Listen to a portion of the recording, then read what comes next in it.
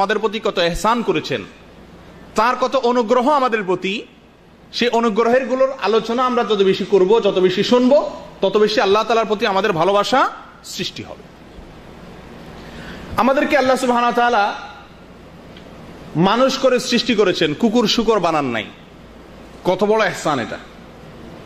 রাস্তা রাস্তায় মানুষের লাথি খেতে হয় না, মানুষের ঝাঁটার বাড়ি খেতে হয় না, মানুষ করে সৃষ্টি করেছেন আল্লাহ তালা কুকুর, বিড়াল, শুকর, এই সমস্ত জন্তু, জীবজন্তু বানান নাই। আল্লাহ চাইলে তো আমাকে কুকুর করেও বানাতে পারতেন দুনিয়াতে, নাকি? এরপরে আল্লাহ তালা বেইমান বানান নাই ইমানদার বানিয়েছেন, যাদের মর্যাদা অনেক বেশি, যাদের জন্য জান্নাত আল্লাহ তালা তৈরি করেছেন। আল্লাহ তালা জীবনে সে মায়ের পেট থেকে ত্রিমুখী অন্ধকারের মধ্যে থেকে আল্লাহ তালা আমাদেরকে রিজিক দিয়ে যাচ্ছেন। এখনও পর্যন্ত রিজিক সরবরাহ করে যাচ্ছেন ঠিকই না? একবার অক্সিজেন নিচ্ছি, নিঃশ্বাস টান দিলাম। দ্বিতীয়বার যে ছাড়বো, সেই ক্ষমতা আমার হাতে নেই। যদি আল্লাহ তালা অনুগ্রহ না করেন। আল্লাহ তালা অনুগ্রহ করছেন বিদে আবার ছাড়তে পারলাম। আবার যে গ্রহণ করতে পারব নিঃশ্বাস, সেই ক্ষমতা আমার হাতে নাই, পৃথিবীর কোনো মানুষের হাতে নাই। আল্লাহ তালা সেই সুযোগটা দিচ্ছেন। প্রতি সেকেন্ডে সেকেন্ডে আল্লাহ তালার অসংখ্য অগণিত নামত এর ভিতরে আমরা হাবুডুবু খাচ্ছি। জীবনে বহু বিপদ থেকে আল্লাহ তালা আমাদেরকে রক্ষা করেছেন। অনেক বিপদে আমরা পড়ে যেতাম, অল্পের জন্য রক্ষা করেছেন কে? আল্লাহ সুহান অনেক বিপদে ফেলে, পরীক্ষা করে, ধৈর্য ধারণের মাধ্যমে উন্নত, উচ্চ মর্যাদা এ গ্রেডের জিপিএ ফাইভ ক্লাসের ইমানদার হওয়ার সুযোগ করে দিয়ে, সুযোগ করে দিয়েছেন। এরা এত অনুগ্রহ যে আল্লাহ তালার তার প্রতি আমাদের ভালোবাসা স্বাভাবিকভাবে আসা উচিত কি উচিত না? আল্লাহর প্রতি ভালোবাসা ইমানদারদের থাকবে।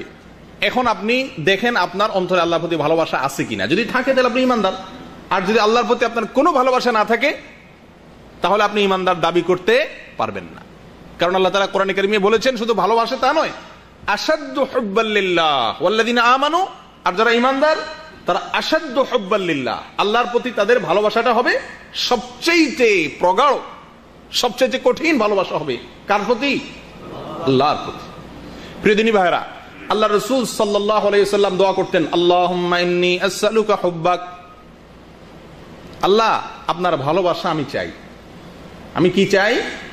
আপনার ভালোবাসা চাই। আল্লাহর ভালোবাসা চাইতেন। আমরা জীবনে কেউ এই দোয়াটা বাংলায় হোক আর আরবি হোক করছি ভাই। আল্লাহর কাছে এই জিনিসটা চাইছেন কেউ, ওমরা তো বহু করছেন যে, আল্লাহ, আপনার ভালোবাসাটা চাই। আপনার ভালোবাসা যেন আমার অন্তরে সৃষ্টি হয়ে যায়। এই জিনিসটা চাইছেন কেউ? ইমানের সঙ্গে যেটা সম্পর্ক। মহাব্বতের মাধ্যমে অনেক কঠিন কাজ। আপনি যাকে ভালোবাসবেন, তার জন্য অনেক কঠিন কাজ করা কি হয়ে যায়? সহজ হয়ে যায়। ঠিক না? আল্লাহ তালার প্রতি যদি আমাদের ভালোবাসা প্রগাঢ় হয়, তাহলে আল্লাহ নির্দেশগুলো মানাও আমাদের জন্য কি হবে? সহজ হয়ে যাবে। প্রিয় দিনী ভাইরা এই জন্য আল্লাহ সাল্লা সাল্লাম আল্লাহর কাছে আল্লাহর ভালোবাসা চাইতেন। আমরাও চাইব। আল্লাহ বলেন আমার সাথে আল্লাহ ইন্নি আসআলুকা হুব্বাক। অর্থাৎ হে আল্লাহ, আমরা আপনার কাছে আপনার ভালোবাসা চাই। আপনার কাছে কি চাই? একটু ব্যতিক্রম দোয়া। অনেক দোয়াই শুনছেন, একটু ব্যতিক্রম লাগে। আল্লাহর কাছে কি চাই? আল্লাহর ভালোবাসা। আল্লাহ আল্লাহ, আমি তো নিমক হারাম আল্লাহ। আপনার এত নামত খাইয়াও আপনার প্রতি ভালোবাসা হয় না আল্লাহ। স্ত্রীকে ভালোবাসি, স্ত্রীর পছন্দের জিনিসটার কথা শুনলে বেকুল হয়ে যায়, কখন তার হাতে সেটা সঁপে দেব, উঠিয়ে দেব। কিন্তু আপনাকে ভালোবেসে আপনার পছন্দের জিনিসটার জন্য এতটা বেকুল বা অস্থির হই না আল্লাহ। এটা তো নিমক হারামের দলিল। আর নিমক হারামের ঠিকানা তো জাহান্নাম। এই জন্য আল্লাহ, আমি যেন নিমক হালাল হতে পারি, আমি যেন নিমক হারাম না হই, আপনার কাছে আপনার ভালোবাসা চাই। এবং যারা আপনাকে ভালোবাসে, যারা আপনাকে ভালোবাসেন, মুত্তাকি ওলামা একরাম তাদের প্রতি যেন আমার ভালোবাসা হয়ে যায়। আমার অন্তরে যেন তাদের প্রতি কি হয়ে যায়? ভালোবাসা হয়ে যায়। কারণ ভালো মানুষের সাথে ভালোবাসা হয়ে গেলে আপনিও কি হওয়া, ভালো হওয়াটা সহজ হয়ে যাবে। এবং ওই আমলের প্রতি ভালোবাসা যেন হয়ে যায়। ওই আমলটার প্রতি আমার টান যেন হয়ে যায়, যে আমলটা আমার অন্তরে আপনার ভালোবাসা সৃষ্টি করে দিবে। যে আমলটা করলে আমি আপনার ভালোবাসা অর্জন করতে পারব আল্লাহ, সে আমলটা আমার মাঝে আপনি দান করেন। আল্লাহ আল হুব্বাকা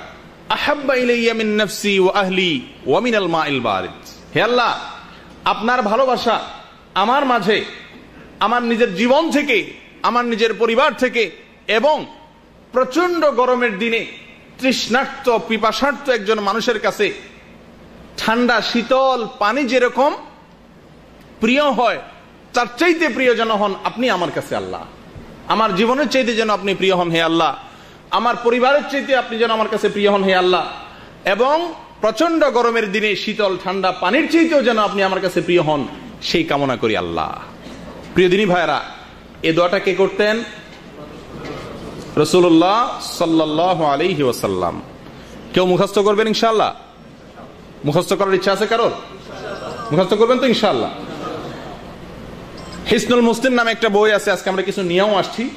এই বইতে এই দোয়াটি আছে। এবং ওলামাদের কাছ থেকে বললে তারা লিখে দিবেন, আপনারা এগুলো মুখস্থ করবেন এবং দোয়াটা পড়বেন। আল্লাহ তালা আমাদের সকলকে আল্লাহ তালার মহব্বত দান করেন।